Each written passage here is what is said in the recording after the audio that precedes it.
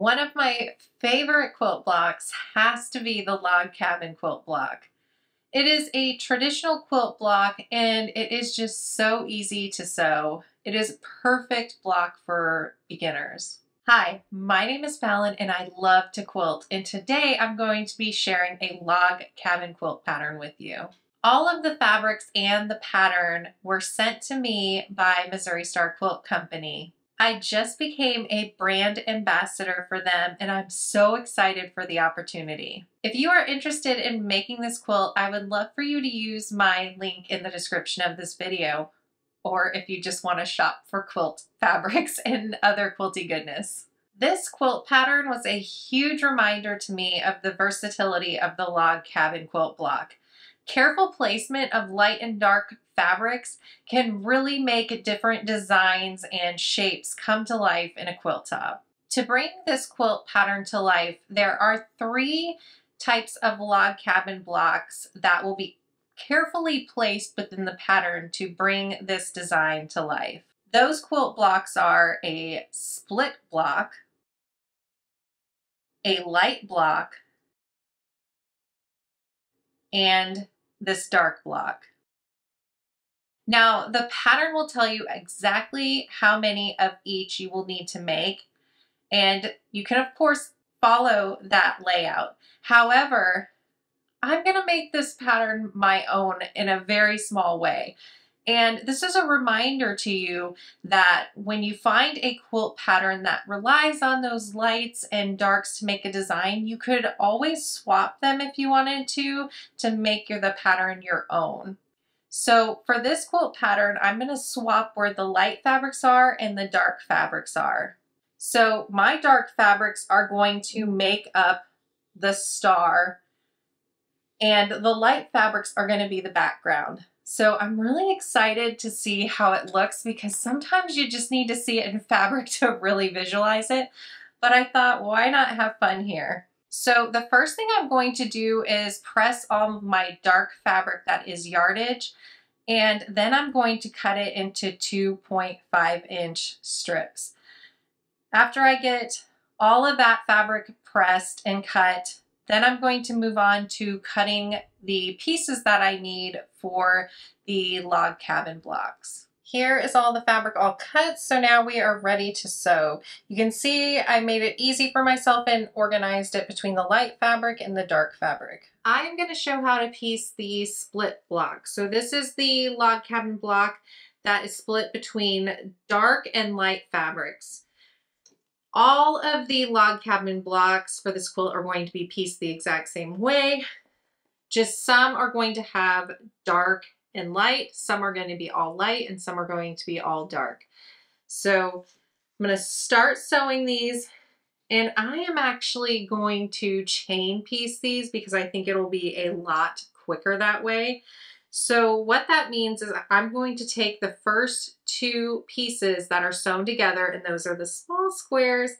The measurements will be all in the pattern, and I'm going to sew these together, and I'm just going to sew all of them that I need to make the split blocks together on this step. So I'm just going to place two right sides together. I'm using batik, so I don't really worry about which side is the right side. They all kind of look the same. And I'm just going to sew all these two small little squares together. I think this just makes quick work of it. It's kind of like production sewing. We're just going to do all of the same step at one time. Make sure you don't have two stuck together. You'll be wondering why you're missing a fabric. Have you ever done that before? I've sewn more than one square together at a time.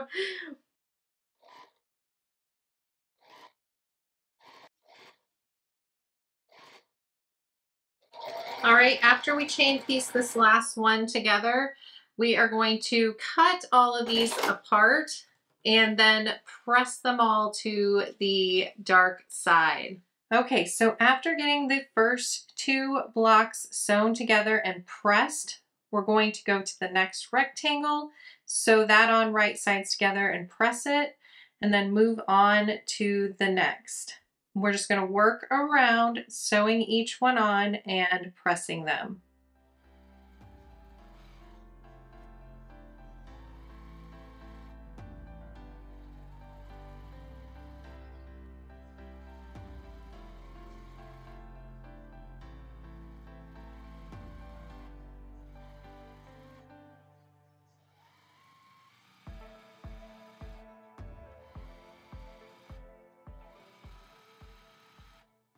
So all of my split blocks are done. So these are the blocks that have the light and the dark fabrics. So here is all of them. There is a bunch of them. So now I'm going to move on to the block that has just dark fabrics.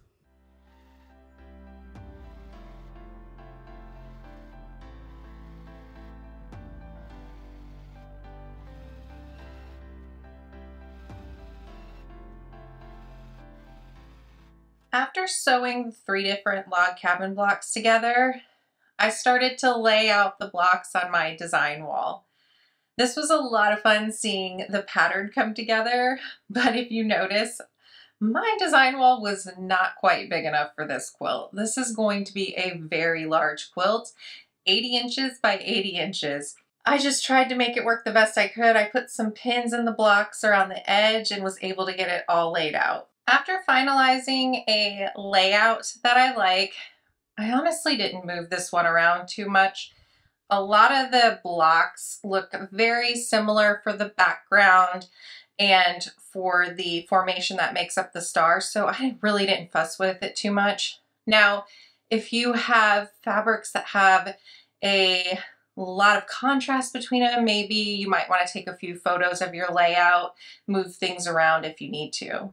What I'm going to do is sew these rows together one at a time. I'm starting with row one and what I did was place a marking pin with the number one on the first block in row one and then I stacked them in order.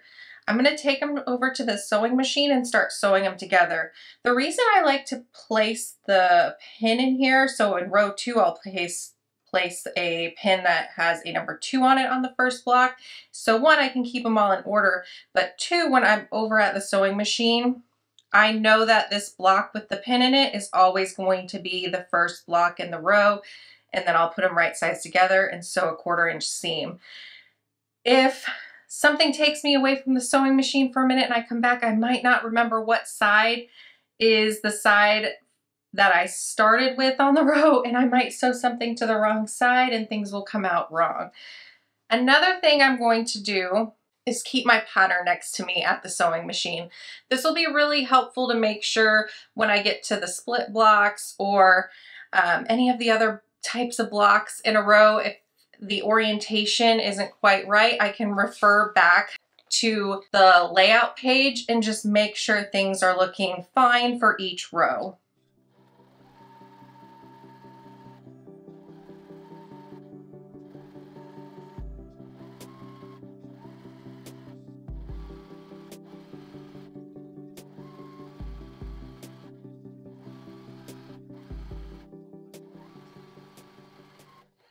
After sewing each row together, I'm going to press each row's seams in opposite directions so that everything will nest together.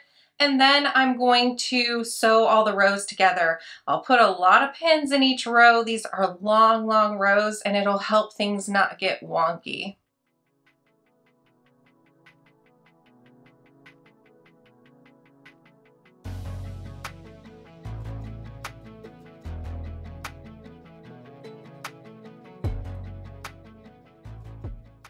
After I get everything sewn together, I'm going to quilt this quilt. Here's the backing I chose for this quilt.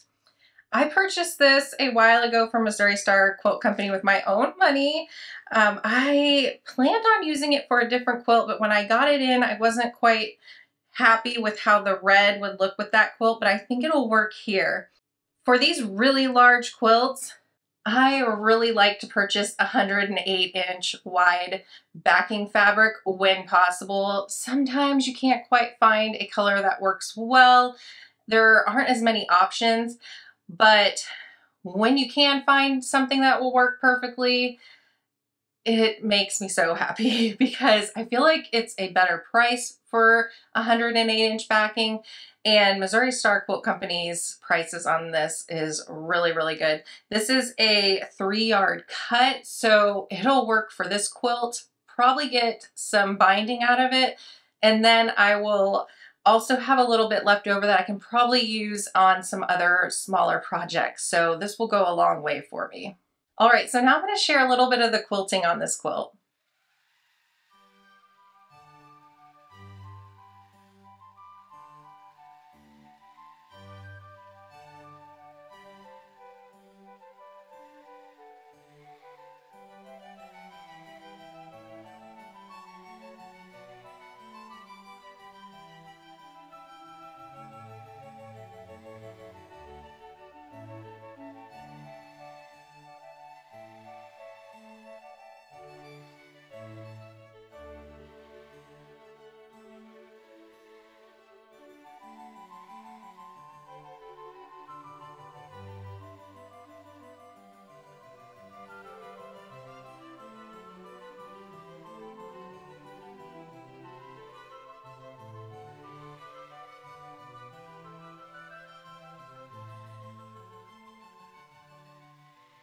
For the quilting on this Echo Star quilt from Missouri Star Quilt Company, I decided to just keep it pretty simple. I did some fun loops and stars. I think the loops and stars were a lot of fun to quilt and I think it suited the quilt very nicely since it is a star design on it. I just kept the quilting really easy peasy for me. I didn't do any specific amount of loops before I did a star. I just did whatever felt good to me. As I quilted this quilt, I couldn't help but really be in awe that all of this came together from the log cabin block. It just really amazes me how versatile this block is. What do you think? After getting all of the quilting done, I kept it really simple and just trimmed up the quilt my way, which is just trimming right along the top of the quilt. I didn't try to square it up or anything like that. I just trimmed off all of the excess fabric. Now this time I decided to bind the quilt by hand. I still cut my binding strips to two and a half inches, sewed them together end to end, and then ironed them in half. But this time I sewed the binding onto the front of the quilt and then flipped it to the back to hand stitch down.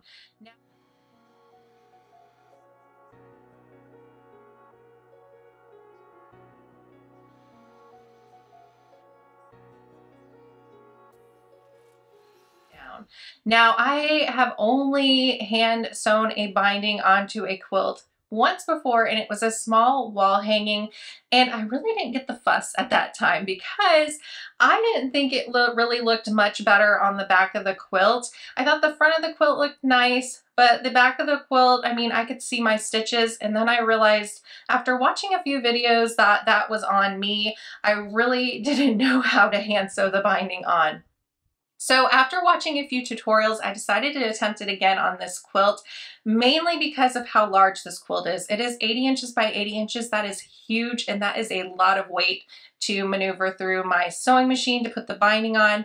I really have a hard time getting the machine binding stitches really nice and even, even on a smaller quilt, so I knew it would not look great on this quilt. I put a lot of time and effort into it, so I really wanted the binding to look nice too. I attempted it and I actually really enjoyed it. I loved seeing how nicely the binding was coming out, out on the back of the quilt after really learning how to hand sew the binding on. I'm really happy with how it turned out. Like really happy, so happy that I'm probably going to try this technique on more quilts going forward. Now I'm definitely not going to hand sew the binding down on all of my quilts, I make a lot of quilts and some of them are going to be smaller and easy to maneuver through my sewing machine to get that binding on. But on some of them, I'm definitely going to enjoy sitting down with my family, watching a movie and hand stitching the binding on nice and slow and getting it looking perfect. I am so happy with how this Echo Star quilt pattern turned out from Missouri Star Quilt Company. I really love how I flipped the dark and white fabrics to get a little bit of a different look. I think it just gave an extra touch to make it uniquely mine. Let me know what you think of it in the comments. I really love Missouri Star Quilt Company's patterns. I think they're really accessible to all levels of quilters, no matter where they're at in the process of learning. And I think their patterns are just so easy to follow. Now, if you would like to grab this pattern and some fabric so that you could sew it together, I would love for you to use my link down in the description of this video. Let me know if this is a pattern you would try out and let me know what your favorite quilt block is. Is it the Log Cabin Block too or is it another quilt block? Thanks so much for watching and I'll see you in the next video. Bye!